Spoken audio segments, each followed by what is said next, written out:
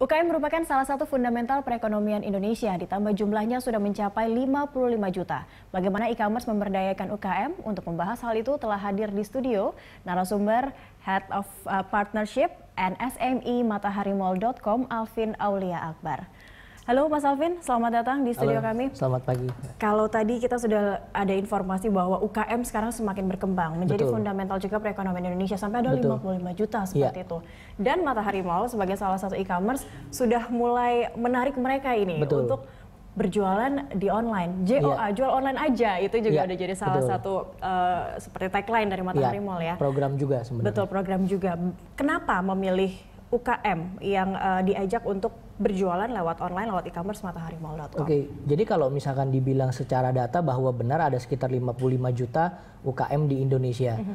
Tapi hanya sekitar masih di bawah 5% yang sudah go online. Oke. Gitu. Jadi masih masih sangat sedikit banget dan kenapa sih mataharimall.com ini uh, menarik para UKM gitu ya untuk menggrab bisa berjualan online gitu. Karena em, bagi para UKM ini sebenarnya tulang punggungnya ekonomi di Indonesia Oke. gitu dibandingkan dengan uh, usaha-usaha yang lainnya Iya, gitu dengan, usaha dengan konsep berjualan yang lain betul itu ya. gitu. Kelas menengahnya kan di Indonesia lebih banyak.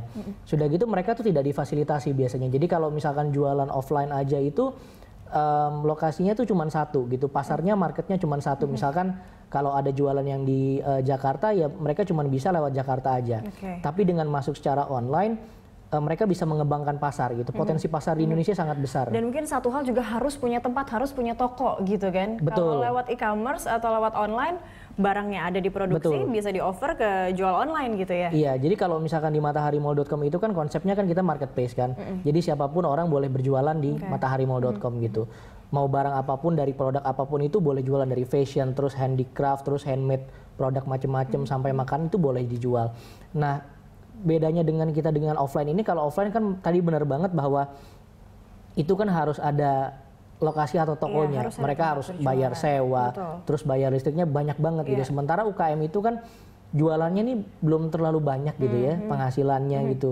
Nah dengan cara membawa ke online ini berjualan berjualan di online ini satu pasarnya jadi sangat besar, yang kedua adalah kos yang mereka harus keluarkan atau biaya yang harus mereka keluarkan jadi lebih sedikit, bahkan hampir nol Oke. gitu. Ditambah promosi-promosi yang lainnya. Ya, jadi justru sebenarnya lebih terbantu dengan Betul. UKM. Tapi ini apakah UKM ini yang sudah established atau bagaimana saat Matahari Mall bisa uh, memilih UKM atau mengkuratori UKM UKM ini bisa Iya. masuk ke Matahari Mall? Adakah syarat-syarat tertentu atau dilihat dari lamanya mereka Iya. sudah berjualan, untung atau cash flow-nya yang sudah Iya. mereka dapat?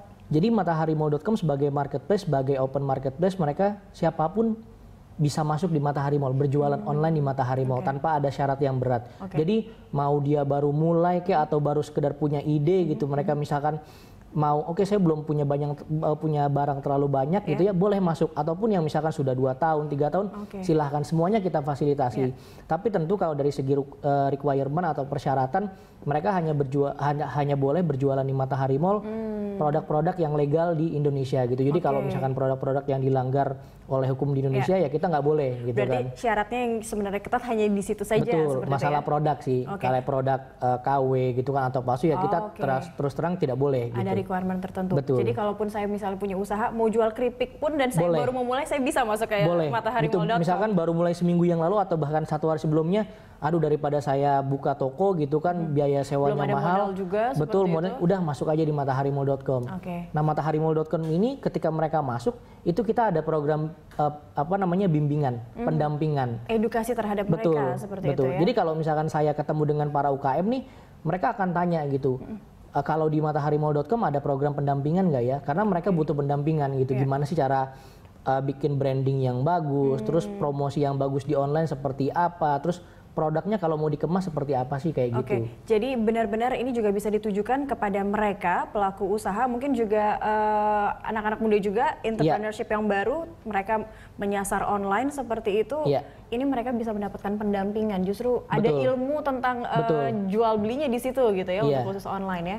Menariknya kalau misalkan tadi sempat disinggung mengenai em, apa mahasiswa atau gitu ya atau anak-anak muda, kita punya program juga untuk program anak. lain, Kita bikin yang entrepreneur namanya Sobat Kampus. Oke. Jadi kita targetin tuh mahasiswa-mahasiswa untuk mereka udah dapat peng- apa namanya penghasilan sampingan, side job, gimana caranya udah buka jualan online aja di mataharimall.com. Oke, baik. Kita akan lebih banyak lagi eh, mungkin Iya. bisa berbicara tentang program-program apa saja di UKM dari mataharimall.com Iya. sesaat lagi, Mas Alvin. Pemirsa tetaplah bersama kami di Market Corner.